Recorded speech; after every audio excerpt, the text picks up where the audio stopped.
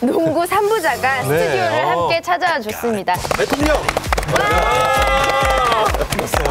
귀엽다. 여자친구 있니? 훈이는 롤모델로 양동근을 뽑았잖아. 진짜 그랬어? 시원해. 자기는 못 해봤거든. 아니야, 그게 내가 나이가 좀 있을 때라 이상민, 우시원 이런 친구들이 있었거든. 어, 가장 다혈질은 술은 누가 가장 잘 마신다. 네. 아버지가 딱 제 이름 안 불렀을 때 서운했어요. 잘해라. 그래서 이 농구를 하기 참 잘했던 것 같고. 공부하기 싫어서 그런 거야.